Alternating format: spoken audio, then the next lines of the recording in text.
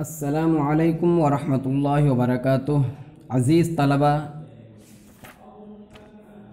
बाब अव्वल की पाँचवीं फ़सल इससे पहले वाले सबक में शुरू हुई और इसका मकसद सिफ़ात मुमय्ज़ा को बयान करना है, जैसा कि आपको बतलाया गया।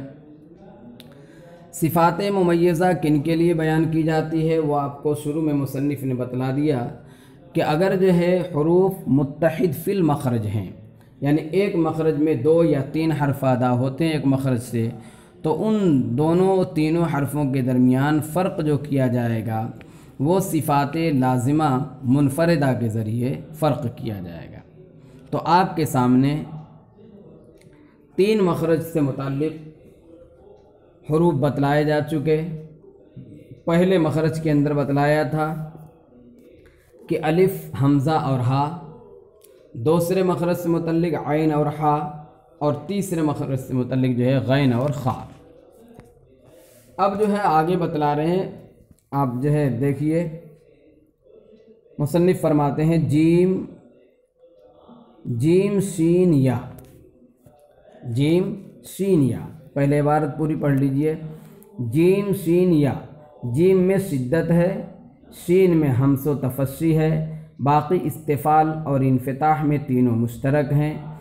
और जहर में जीम या और रखावत में शीन या मुश्तरक है। यानी सिफत शिद्दत जो है जीम में पाई जाती है। लिहाजा सिफत शिद्दत ये जो है सिफत मुमयज़ा बन जाएगी जीम के लिए शीन और या के मुकाबले में। तो शीन और या से जो है जीम ये अलग हो जाती है सिफत शिद्दत की वजह से। आगे कह रहे हैं कि शीन में हमसो तफसी है लिहाजा शीन जो है ये जीम और या से अलग हो जाएगी सिफत हमस और सिफत तफसी की वजह से। यानी सिफत हमस और तफसी ये शीन के लिए क्या बन जाएगी? सिफत मुमयज़ा और सिफत मुनफरदा। आगे फरमा रहे हैं कि इस्तेफ़ाल इनफताह में तीनों मुश्तरक हैं लिहाजा ये जो है आ, क्या कहते हैं ये मुमयज़ा नहीं बनेगी। अलबत् जहर में जीमिया, ये जो है मुश्तरक है। और रखावत में शीनिया मुश्तरक हैं। तो मतलब ये हुआ कि जीम और या जो है ये जहर में मुश्तरक हैं और शीन के अंदर जो है जहर नहीं पाई जाती, बल्कि हमस पाई जाती है। तो हमस जो है इन दोनों से अलग कर देगी। और रखावत के अंदर जो है शीन और या है।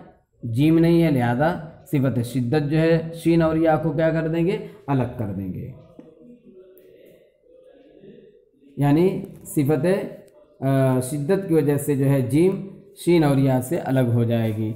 तो सिफत शिद्दत। अलहासिल ये कि सिफत शिद्दत जो है, ये जीम के लिए सिफत मुमयज़ा है कि यह शीन और या से अलग कर देगी। और शीन के लिए जो है सिफत हमस और तफसी जो है मुमयज़ा है कि वो जो है जीम और या से अलग कर देगी। आगे फरमाते हैं ता दाल, ता। शिद्दत में इश्तराक, यानी तीनों हर्फ जो है शदीदा है। अजिदु क़त्तिम बकत के मजमू में तीनों हरूफ आते हैं। लिहाजा ये जो है हरूफ शदीदा होने की हैसियत से जो है, तीनों क्या हो गए, मुश्तरक हो गए। दा, ता और दाल जहर में भी मुश्तरक है। ता और दाल, ये जहर में भी मुश्तरक हैं। इसका मतलब ये है कि ता जो है उसमें जहर नहीं है। तो ता में जो है सिफत हमस है। लिहाजा सिफत हमस जो है ता के लिए सिफत मुमयज़ा बन जाएगी। आगे देखिए, और ता, दाल, इस्तेफ़ाल इनफताह में मुश्तरक है। और ता में इतबाक़ इस्तेला है। लिहाजा ता के लिए सिफत इस्तेला और सिफत इतबाक़, ये सिफत मुमयज़ा बन जाएगी। और ता जो है अपने दोनों साथी दाल और ता से अलग हो जाएगा। और ता में हमस है, पूरी इबारत देखिए। ता, दाल, ता, शिद्दत में इश्तराक, और ता, दाल, जहर में भी मुश्तरक हैं, और ता, दाल, इस्तेफ़ाल इनफताह में मुश्तरक हैं, और ता में इतबाक़ है इतबाक़ इस्तेला है, और ता में हमस है। तो मतलब क्या हुआ? कि जो है ता दाल ता ये तीनों जो है शदीदा हैं लिहाजा शदीदा उनके लिए आ, क्या कहते हैं सिफत मुमैज़ा नहीं बनेगी। अलबत् के लिए जो ता इसके लिए सिफत इतबाक़ और इस्तेला जो है ये मुमैज़ा बनेगी और सिफत इस्तेला और इतबाक़ की वजह से जो है ता अपने दोनों साथियों दाल और ता से मुमताज़ हो जाएगा।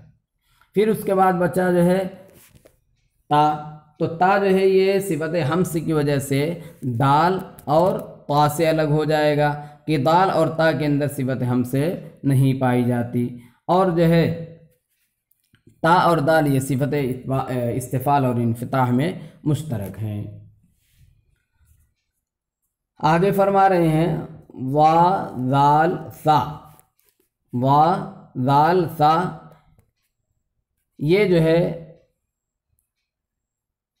इनका रखावत में इश्तराक है। वा, दाल, सा का रखावत में इश्तराक है और वा, दाल, जहर में और दाल, सा इस्तफ़ाल इनफताह में मुश्तरक हैं और वा में मुमैज़ा सिफत इस्तेला इतबाक़ है और दाल, सा में सिफत मुमैज़ा जहर हमस है। क्या मतलब है इस इबारत का? आप देखिए वा, दाल और सा। ये तीनों के तीनों जो है हरूफ रिखवा है। आगे कह रहे हैं कि वा, दाल, जहर में। यानी वा और दाल के अंदर जो है जहर पाई जाती, अब बचा सा। तो सा के अंदर जो है सिफत हमस पाई जाएगी। और आगे कह करें दाल, सा में इस्तेफ़ाल इनफताह में मुश्तरक हैं। और वा में मुमैज़ा सिफत जो है इस्तेला इतबाक़ है। और दाल सा में सिफत मुमैज़ा जहर हमस है। यानी ज़ाल जो है, अपने दोनों साथियों वा और सा से सिफत जहर की वजह से मुमताज़ हो जाएगा। और सा जो है, सिफत हमस की वजह से वा और दाल से मुमताज़ हो जाएगा। तो अब नतीजा क्या निकला कि वा के लिए वा के लिए सिफत मुमैज़ा इस्तेला और इतबाक़ है। लिहाजा सिफत मुमैज़ा इस्तेला और इतबाक़ की वजह से जाल और सा से वो अलग हो जाएगा। जाल के लिए सिफत मुमैज़ा जो है जहर है। लिहाजा वो जो है सिफत जहर की वजह से वा और सा से अलग हो जाएगा। और सा के लिए सिफत मुमैज़ा जो है हमस है। लिहाजा वो हमस की वजह से वा और दाल से मुमताज़ हो जाएगा। आगे फरमा रहे हैं, साद जा सीन। साद जा सीन। ये जो है रखावत और सफ़ीर में मुश्तरक है। यानी तीनों जो है रखवा भी हैं, तीनों सफ़ीरिया भी हैं। अलबत्ता आगे कह रहे हैं, और साद सीन में हमस हमस में और जा सीन इस्तेफ़ाल, इनफताह में मुश्तरक हैं। और साद में सिफत मुमैज़ा, इस्तेला, इतबाक़ है और जासीन में जहर हमस है। यहाँ पर भी देखिए अब, पहले बतला दिया कि साद, जासीन, ये रखावत और सफ़ीर, ये दो सिफतें, सिफत रखवा और सिफत सफ़ीरिया में ये क्या हैं? मुश्तरक हैं। आगे, साद और सीन के अंदर सिफत हमस है। लिहाजा साद और सीन सिफत हमस की वजह से जा से अलग हो जाएँगे और ये जो है सिफत हमस, साद और सीन के लिए जा से जो है सिफत मुमैज़ा बन जाएगी। जासीन इस्तेफ़ाल, इनफताह में मुश्तरक और साद में सिफत मुमैज़ा जो है इस्तेला इतबाक़ है। लिहाजा साद ये जो है ज़ा और सीन से ये अलग हो जाएगा किसकी वजह से? सिफत इस्तेला और इतबाक़ की वजह से। ज़ा में जहर और सीन में हमस है। ज़ा सीन में जहर हमस है। का मतलब ये है कि ज़ा में जो है जहर है और सीन में हमस है। तो अब जो है ज़ा ये क्या होगा? ये ज़ा जो है जहर की वजह से अपने दोनों साथियों से अलग हो जाएगा और सीन जो है हमस की वजह से मुमताज़ हो जाएगा। तो ज़ा के लिए सिफत मुमैज़ा क्या बनेगी? जहर और सीन के लिए सिफत मुमैज़ा जो है हमस बनेगी। आगे देखिए, आगे फरमाते हैं, लाम नून रा, जहर तवसुत इस्तफ़ाल, इनफताह में मुश्तरक हैं। जहर तवसुत इस्तफ़ाल, इनफताह में मुश्तरक हैं। और लाम में, लाम रा में, और लाम रा इनहराफ में मुश्तरक हैं और इनमें तमायुज़ मखरज से है। आपको मालूम है कि इससे पहले जब सिफत का ज़िक्र छेड़ा गया था और वहाँ पे जो है दो सिफतें ज़िक्र की गई थी, सिफ़ात लाजमा। तो सिफ़ात लाजमा के अंदर जो है सिफ़ात मतजादा गैर मतजादा बतलाया गया था आपको कि दो किस्में उनकी हैं। तो उसमें जो है सिफ़ात गैर मतजादा में से लीन और इनहराफ को मुसनफ़ ने बयान नहीं किया। और सिफत इदलाक़ और इसमात को सिफ़ात मतजादा में से बयान नहीं किया गया था। लेकिन यहाँ पर मुसनफ़ जो है, ज़िक्र कर रहे हैं। तो इसके ज़िक्र से मालूम ये होता है कि मुसनफ़ ये बतलाना चाहते हैं कि इनहराफ का जो ताल्लुक़ है, ये अदायगी से है, ज़्यादा। बनस्बत इदलाक़ व इसमात के। बहरहाल तो लाम नून रा, ये जहर तवसत इस्तफ़ाल, इनफताह में मुश्तरक हैं। और लाम रा में इनहरा, लाम रा जो इनहराफ में मुश्तरक हैं और इनमें तमायुज़ मखरज से है। आपको बतलाया गया था कि मुसनफ़ अलैह ने गरचे की अल्लामा सेबवह के कौल के मुताबिक लाम, नून, रा तीनों का मखरज जो है एक बयान किया था। लेकिन वहाँ पे चूँकि क़ुर्ब का लिहाज नहीं किया था इसलिए क्या किया उन्होंने कि एक मखरज, ये क़ुर्ब का लिहाज करके वहाँ पर एक मखरज बयान कर दिया था। लेकिन अब इसमें जो है इम्तियाज़ पैदा कैसे होगा जब एक ही मखरज मानेगा? अल्लामा से, क्या कहते हैं, अल्लामा खलील नहवी के यहाँ तो कोई मसला ही नहीं क्योंकि उनके यहाँ जो है तीनों का मखरज अलग अलग है। अब जो है बयान करना पड़ेगा अल्लामा सेबोए के मतलब क्या कहते हैं, अल्लामा फर्रा के कौल के मुताबिक। तो क्या फरमा रहे हैं? और लाम रा इनहराफ में मुश्तरक हैं और इनमें तमायुज़ मखरज से इसी वास्ते सेबोए और खलील ने इनका मखरज अलग तरतीबवार रखा है और फर्रा ने क़ुर्ब का लिहाज करके एक मखरज बयान किया है। अब जो है आ, इनको कैसे अलग करेंगे? दूसरे ये कि नून में गुन्ना है और रा में तकरार है।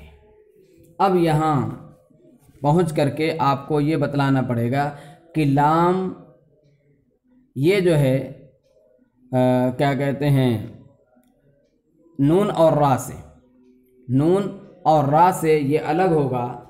नून से अलग होगा सिफत इनहराफ की वजह से। और रा अलग होगा नून और लाम से सिफत तकरीर की वजह से कि रा के अंदर सिफत तकरीर है। तो गोया कि सिफत तकरीर रा के लिए सिफत मुमयज़ा है। और लाम जो है नून से अलग होगा सिफत इनहराफ की वजह से। और नून जो है लाम और रा से अलग होगा सिफत गुन्ना की वजह से। तो आप इस तरह से समझ लें कि नून के अंदर सिफत गुन्ना है, लिहाजा वो सिफत गुन्ना जो है, उसके लिए सिफत मुमयज़ा है। रा के अंदर सिफत तकरार है तो सिफत तकरार की वजह से लाम और नून से अलग हो जाएगा। और लाम के अंदर सिर्फ़ सिर्फ़ जो है सिफत इनहराफ है तो इनहराफ में लाम और रा दोनों मुश्तरक हैं, लेकिन रा जो है तकरीर की वजह से जब अलग हो जाएगा तो लाम खुद ब खुद जो है रा से भी अलग हो जाएगा। अच्छा आगे चलिए। वाव बा मीम वाव बा मीम, जहर, इस्तफ़ाल, इनफताह, में मुश्तरक। वाव बा मीम, जहर, इस्तफ़ाल, इनफताह, में मुश्तरक। और वाव के अदा करते वक्त शफ़तैन में किसी कदर इनफताह रहता है, इसी इस वजह से अपने मुजानिसों से मुमताज़ हो जाता है।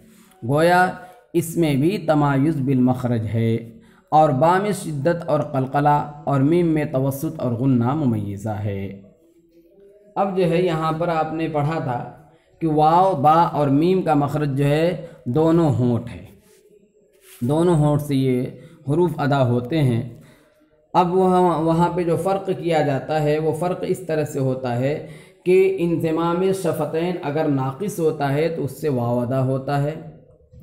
और अगर जो है इंजमाम शफ़तैन पूरी तरह से होता है, यानी इंतबाक़ शफ़तैन होता है तो उससे बा और मीम अदा होते हैं। लेकिन अब फ़र्क कैसे होता है तो उसको मुसनफ़ बतला रहे हैं कि वाव के अदा करते वक्त शफ़तैन में किसी कदर इनफताह रहता है। तो जब इनफताह रहता है तो वो बा और मीम से अलग हो गए। इस वजह से अपने मुजानिसों से मुमताज़ हो जाता है। अब आगे बच्चे जो है मीम और बा। इन दोनों में तो इंतबाक़ शफ़तैन होता है, यानी दोनों होठ मिल जाता है। तो अब ये दोनों आपस में एक दूसरे से कैसे अदा होंगे? और इस तरह से कि बा के अंदर जो है सिफत शिद्दत और सिफत कलकला है। लिहाजा ये सिफत शिद्दत और कलकला जो है बा के लिए सिफत मुमैज़ा बन जाएगी मीम से। इसी तरह से जो है वाव से भी। और मीम में सिफत तवसत और सिफत गुन्ना है, लिहाजा मीम जो है बा और वाव से अलग हो जाएगी। और वाव के अंदर जो है इंजमाम शफ़तैन लिहाजा वाव जो है, बा और मीम से अलग हो जाएगी। इस तरह से जो है तो गोया कि वाव में इंजमाम शफ़तैन जब पाया जाता है और बा और मीम में नहीं पाया जाता तो गोया कि वाव के अंदर जो है, क्या हो गया? तमायुज़ मखरज हो गया। तो इसी कदर लफ्ज़ गोया से इसी बात की तरफ़ इशारा किया मुसनफ़ ने कि वाव, बा, मीम का मखरज तो एक ही है, दोनों होंठ मगर चूँकि उनके अदा करते वक्त होंठों की हालत बदलती रहती है, यानी ये कि वाव के अदा करते वक्त होंठ कुछ खुले रहते हैं, जबकि मीम बा के अंदर होंठ मिल जाते हैं। इसलिए फरमा दिया कि गोया उनमें तमायुज़ मखरज के ज़रिए। और फिर रहा बा और मीम का मसला तो बा के अंदर सिबत शिद्दत और कलकला की वजह से इम्तियाज़ हो जाता है, और मीम के अंदर जो है सिबत तवसत और गुन्ना की वजह से इम्तियाज़ हो जाता है। आगे देखिए आगे फरमा रहे हैं, और ज़ाद, ज़ाम जहर, रखावत, इस्तेला, इतबाक़ है। पाँच सिफा। ये चार सिफात बतला रहे हैं। ज़ाद में ज़ाद और ज़ाम जहर, रखावत, इस्तेला, इतबाक़ है, और ज़ाद में सिफत इस्ताला है। ज़ाद में इस्ताला है, और मुमय्ज़ मखरज है। असल में यहाँ तो ज़ाद और ज़ा को बयान ही नहीं करना चाहिए था।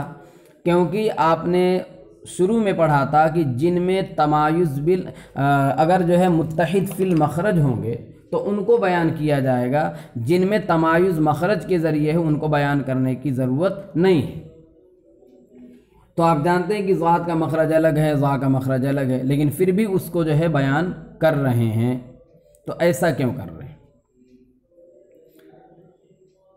तो देखिए मुसनफ़ क्या बयान कर रहे हैं? और ज़ाद, ज़ाम जहर, रखावत, इस्तेला, इतबाक़ है।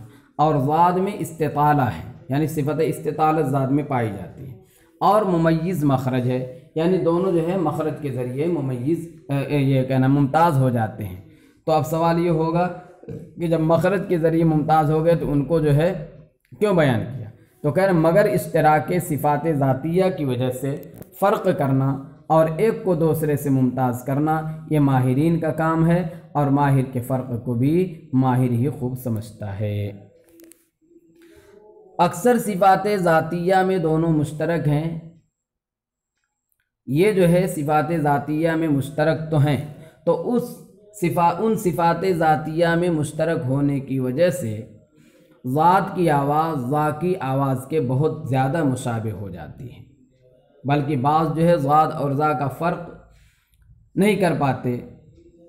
तो अब जो है, उन सिफ़ात में एक सिफत रिखवत भी है, जिसकी वजह से ज़ाद की आवाज़, ज़ा की आवाज़ के बहुत मुशाबे हो जाती है। बाद लोग ज़ाद और ज़ा का मखरज अलग अलग होने की आड़ लेकर इन दोनों की आवाज़ की मुशाबहत का इनकार करते हैं, जो सही नहीं है। लेकिन यह है कि ये जो है चार सिफ़ात आपने देखा जहर रखावत इस्तेला और इतबाक़। ये चार चार सिफ़ात में जब ये दोनों जो है मुश्तरक हैं तो इस इश्तराक सिफ़ाती की वजह से इन दोनों की आवाज़ जो है बहुत ज़्यादा मुशाबे हो जाती है। तो अब जो है ऐसी मुशाबहत की वजह से क्या करना होगा कि इनका मखरज जो है उसी को हमें आ, क्या कहते हैं देखना चाहिए कि उसके मखरज की वजह से हम इनको जो है अलग अलग करेंगे। और ज़ात के अंदर सिफत इस्तेला का ख़ास ख्याल रखा जाएगा। जब ज़ात के अंदर सिफत इस्तेला का आप जो है ख़ास ख्याल रखेंगे तो ज़ात जो है ज़ा से अलग हो जाएगा। बहरहाल, इनके ज़ाद और ज़ा के अंदर जो है मखरज के ज़रिए जो है इम्तियाज़ था, लेकिन अक्सर सिफ़ात ज़ातिया में मुश्तरक होने की वजह से इनकी आवाज़ में चूँकि एक तरह की मुशाबहत पाई जाती थी, इसलिए मुसनफ़ ने इसको बयान किया, वरना जहाँ मखरज में इम्तियाज़ होता है, उसको बयान करने की ज़रूरत नहीं होती है। बहरहाल, अज़ीज़ तलबा, यहाँ जो है पहुँच कर पाँचवीं फ़सल बाब अव्वल